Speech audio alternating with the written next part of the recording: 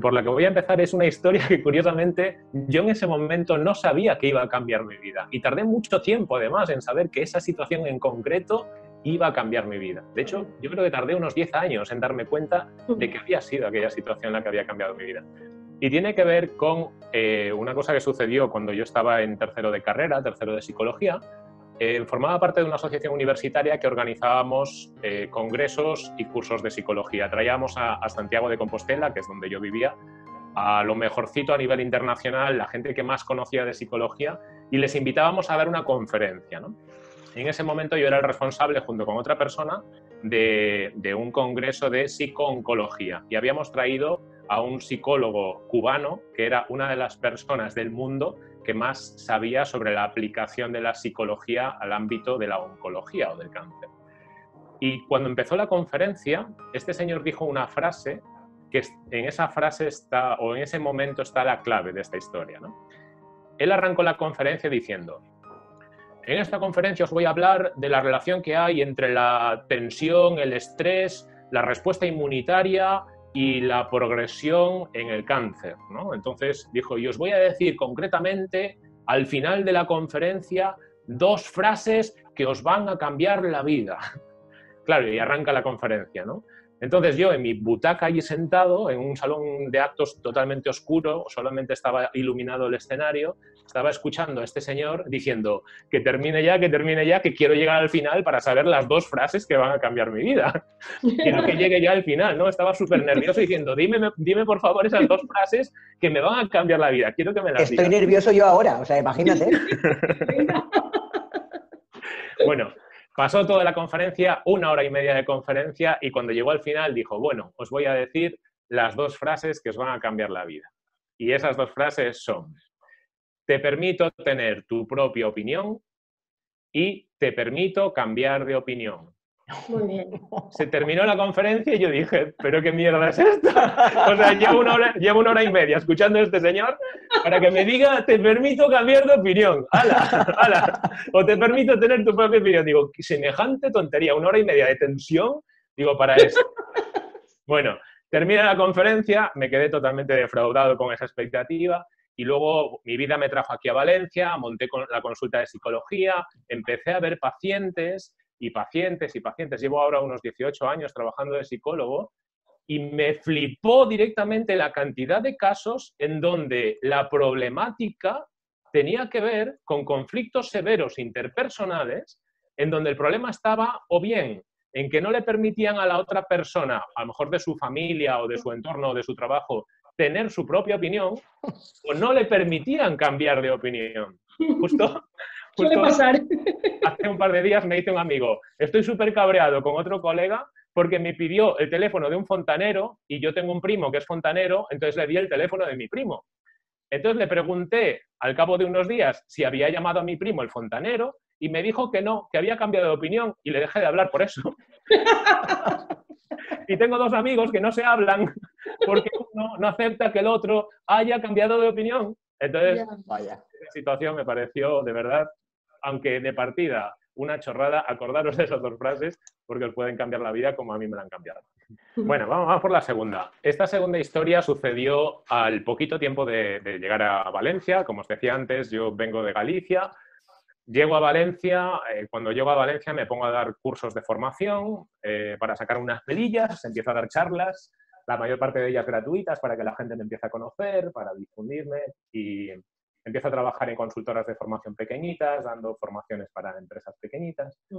Y llega a oídos, bueno, monto la consulta de psicología también, empiezo a atender mis primeros pacientes, que me fascinaba lo que se puede ayudar a una persona en la consulta, ¿no?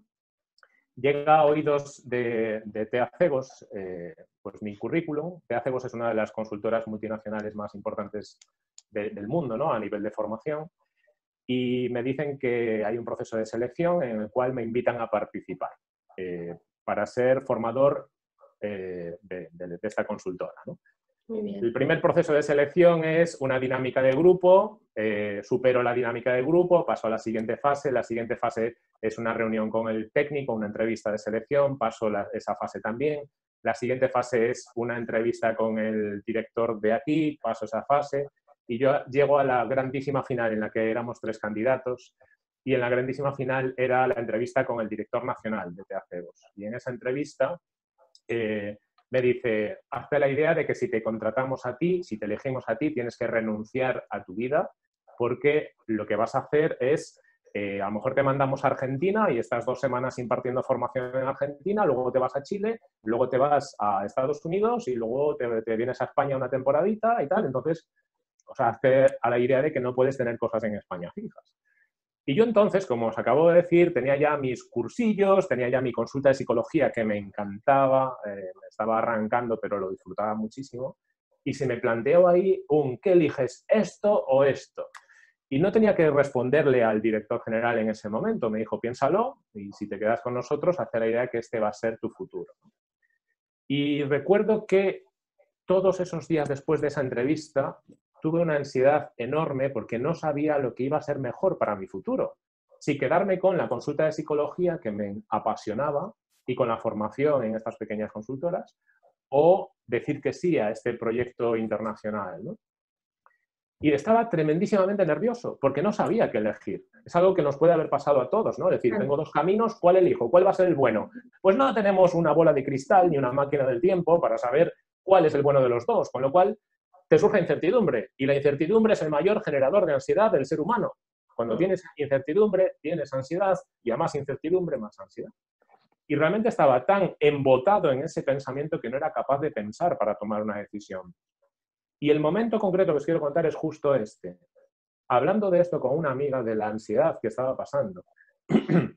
Esta amiga me cogió por aquí, por los pelos, que ahora tengo melena por, la, por el confinamiento, que no he ido al peluquero todavía. Pues me cogió, por la, me cogió por la melena y me acercó a una pared de su casa, porque estábamos en su casa, en la cual había una fotografía en la pared. Y me puso a esta distancia, me puso a esta distancia de la fotografía. Y me dice, Fernando, ¿qué ves? Y yo le dije, pues no veo absolutamente nada. Dice, ¿cómo que no ves nada? Digo, no, no veo nada, no veo la foto. Entonces me cogió del pelo y tiró de mí hacia atrás y me dice, ¿y ahora qué ves? Digo, pues ahora veo la fotografía entera que hay en la pared. me dice, pues hay veces en las que cuando tienes el problema tan cerca de las narices, no eres capaz de verlo. Entonces, lo que te hace falta para tomar una decisión es, olvídate de eso un tiempo, unos días, unas horas. Digo, sácalo de tu cabeza. Digo, cuando no puedes tomar una decisión porque te genera tanta ansiedad, simplemente quítalo de tu cabeza. Y lo que hice durante ese día y al día siguiente y al día siguiente fue, cada vez que se me venía el pensamiento de tomar una decisión a la cabeza, decía, ahora no es el momento. Y simplemente ignoraba eso. A los tres días, al tercer día, me desperté, encendí la, la luz, miré el techo y dije, ya sé lo que tengo que hacer. Tengo que renunciar a esa oferta laboral porque me gusta tantísimo la psicología que no podría aceptar dentro de 20 años asumir que no soy psicólogo. Mm. Y tiré por ahí. Les dije que, bueno, que, no era el momento de mi vida para, para, eso, que prefería otras cosas, prefería trabajar en la psicología y prefería labrarme mi, mi camino en algo más, con más incertidumbre. Entonces, eso lo he llevado a cabo durante muchísimas otras ocasiones en mi vida. ¿Por qué esto funciona? La psicología me lo ha enseñado luego, precisamente porque la parte inconsciente de tu cerebro sigue pensando en la solución aunque tu parte consciente no reflexione en ello. En alguna ocasión te has dicho, ¿cómo se llamaba la chica esa de la frutería? Que no me sale ahora el nombre. Caramba, que no me sale. Y pasas de eso y a los tres días estás a lo mejor paseando por la calle y dices, Mari Carmen, y te acuerdas de repente sin que estuvieses pensando en la frutería. ¿Por qué pasa esto? Porque la, la mente en su parte inconsciente sigue pensando cuál es la mejor solución para tu vida. Vamos a por la tercera historia de Fernando Pena. Vamos para allá, vice. Bueno, os voy a contar mi tercer momento, un momento muy concreto que me cambió la vida y, que supuso quizás un antes y un después. Y fue este de aquí, no sé si lo estáis viendo. Sí. Ah, ¿qué, ha pasado en mi pantalla? qué bueno, qué bueno, qué bueno. Pues fue ese momento, justo ese momento lo tengo grabado, cambió un montón mi vida, eh, se corresponde con un viaje que hice hace un tiempo, me crucé Estados Unidos de, punta a punta, desde Miami hasta Los Ángeles, en la otra punta. Y en ese vídeo que estáis viendo yo estaba grabando con un palo selfie. Estaba caminando por la calle grabando para, para YouTube, para mi canal de YouTube. Porque yo quiero pretendo que mi canal de YouTube sea en parte mi legado, ¿no? Mi legado es eso que se entrega a las generaciones futuras, es una recopilación de conocimientos, aprendizajes y reflexiones antes los legados se entregaban en forma de bibliotecas, ¿no? En plan, le dejo a mis nietos mi biblioteca, le dejo a mí no sé qué mi biblioteca. Hoy le dejas a unos chavalines una biblioteca y te dicen, abuelito, te tomas por culo. Pero yo, yo busco con YouTube, pues, que, eso, que, que, haya un legado que quede cuando yo no esté aquí, pues que todavía haya gente que vea pues, ese conocimiento acumulado, esas experiencias, esas reflexiones. Y quiero hablaros de, este, de esta situación en concreta, porque yo iba con un palo selfie por la calle. Me moría de vergüenza pensando, ¿qué van a pensar de mí esta gente con la que me cruzo? Yo estoy ahí cruzando la calle y hablándole al palo selfie y tal, en plan haciendo bastante el ridículo. Pero justo en ese momento, estaba eh, concretamente en Dallas, justo en ese momento yo pienso, aquí no me conoce ni Cristo y cuando yo me marche dentro de dos días no me van a volver a ver en la vida. Digo, ¿por qué le estoy dando tantísima importancia a lo que la gente pueda estar pensando de mí ahora? A que si estoy haciendo el ridículo por caminar por la calle con un palo selfie hablándole a la, cámara. Digo, voy a pasar de lo que la gente piense de mí porque es gente que no voy a volver a ver en la vida. Y aunque así sea, no me tiene que importar lo que piense de mí gente, la gente que tengo alrededor. Y eso es un, un momento importante para mí porque a lo largo de muchísimas otras situaciones yo he reproducido exactamente el mismo pensamiento. En plan, tengo que pasar de lo que la gente pueda estar pensando de mí, de, cómo me juzga. Esto lo aplico, por ejemplo, cuando voy a hoteles y en el desayuno, a veces trato de controlarme. Pero cuando no trato de controlarme, y si el hotel es bueno, tienen salmón ahumado y tienen quesito fresco. Y yo soy muy fan del salmón ahumado. Cuando me refiero a que soy muy fan, me refiero a que no me echo dos trocitos de salmón ahumado, ni seis trocitos.